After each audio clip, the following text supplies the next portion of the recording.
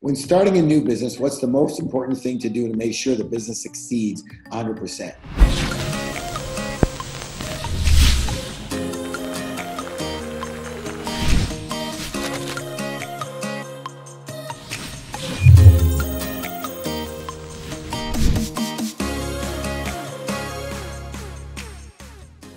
All right, great question.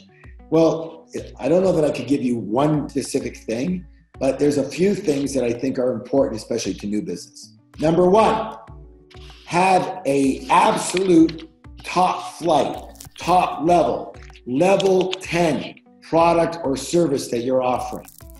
Solve the problem for real. Remember, people pay you because you're solving a problem for them. Your product or service has got to be a level 10 in solving that problem. Don't put out only put out the best. And yeah, you're starting your, your new business. And yes, maybe, maybe, maybe the product isn't quite up to snuff. Okay, I get that. Charge less for it. Tell people, okay, it's okay. You know what? When I'm first starting a course, I'm going, you know what? This is, I'm launching this course. I want to get your feedback. The course is going to be coming out at $1,200 for real, and it will. I want your feedback. It's not perfect yet. I think it's a level 9 out of 10, maybe 9.5, maybe 9.9. Anybody else would put it out there at full price and charge a fortune? I want your feedback. 200 bucks.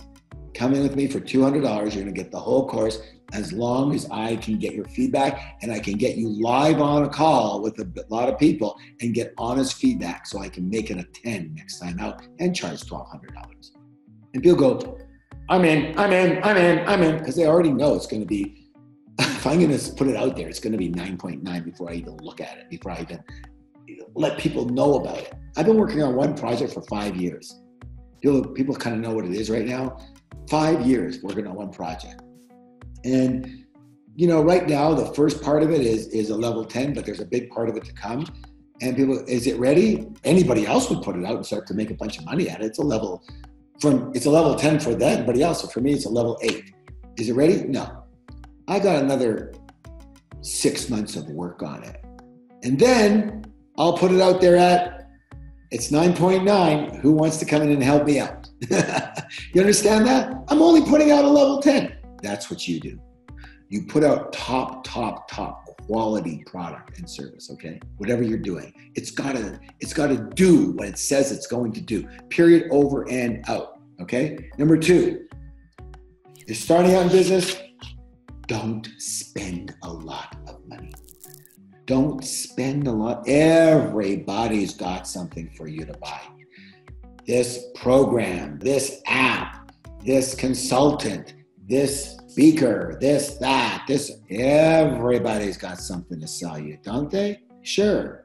If you bought one millionth of the things that you could buy, you'd be broke in a hurry.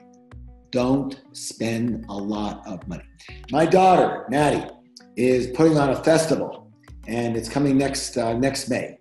And you know, my daughter doesn't have a lot of money, and I don't give her any money. You know, she's always been, she had a job before. She learned a lot about business. She's not the kind of person that would even take, really take money. She never asks for money. She makes a little bit of money on her Airbnb of her house, et cetera, et cetera. And she does some other part time jobs. She's putting on a festival. It's going to be hopefully a thousand people there. It's going to be an awesome festival. She's taking what she learned with us, and it's going to be amazing. And here's the thing no money. No money. She's putting no money at this point. When money comes in from ticket sales, she'll start, you know, reinvesting that money into, you know, putting somewhere out there, etc.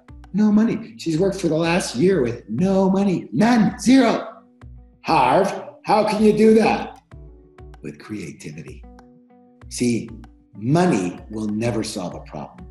And if you start trying to solve problems with money, the answer will be to more problems, you'll need more money. Listen to what I'm telling, tell you right now. Nobody tells you this anymore. Everybody's a, raise more money, get financing, get investors, put more in here.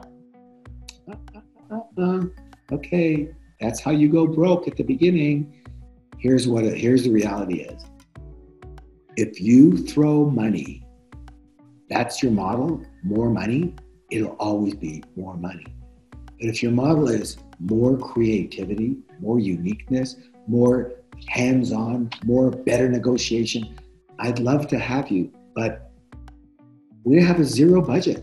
My daughter was looking to have this very, very big speaker at her festival. And she said she might give him like $5,000. I said, but where are you going to get five? You don't even have $5,000. And that's good. Don't give him anything. Yeah, but they're not going to come. They're not. So we said, okay, what's the negotiation? So she's negotiating them for a month now.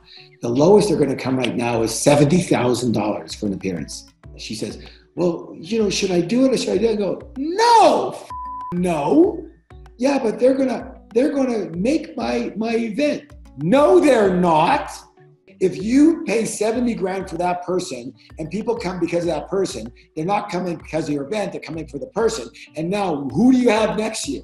And who do you have the year after that? And who do you have the year after that? And all of a sudden, you're in the celebrity game instead of the wellness festival game.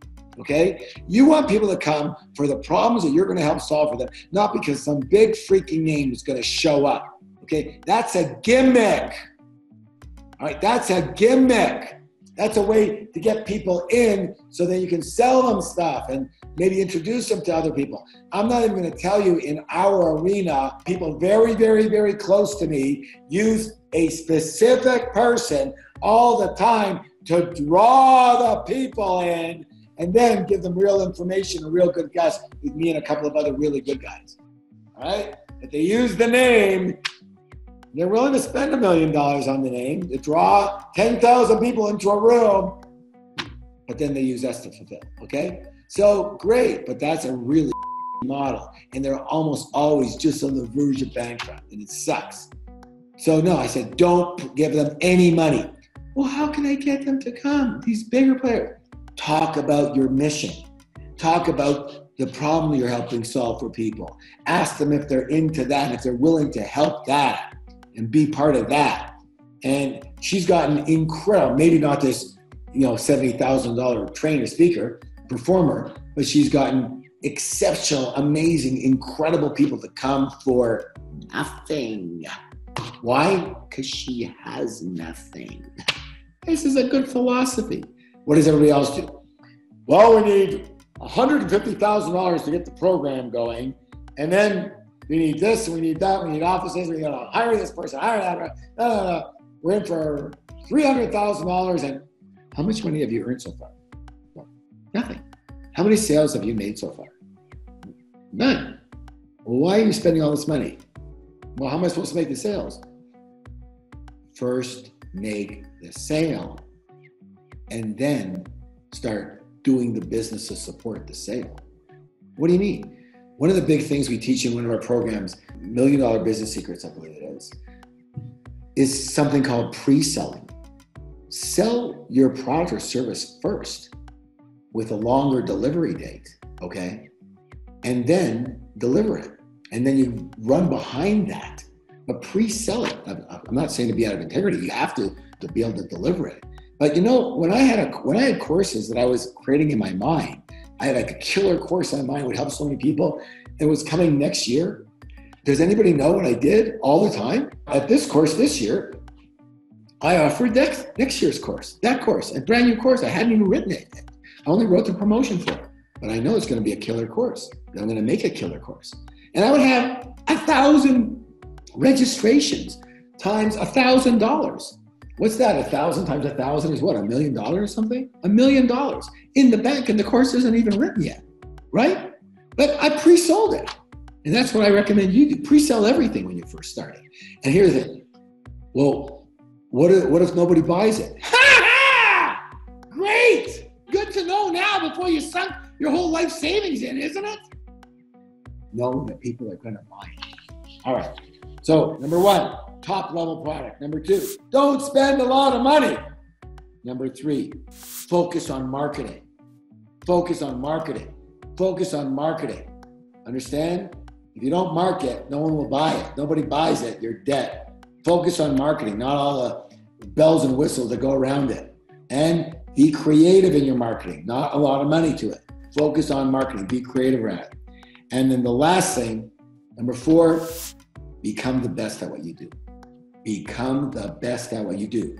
As an entrepreneur, as a business person, as whatever specific element you do in, within that business. And, and if you're delivering something yourself, be the best in the world at that. And I mean, become, have your company and yourself be the best in the world at what you are doing and what you are providing. The best in the world. The best in the world.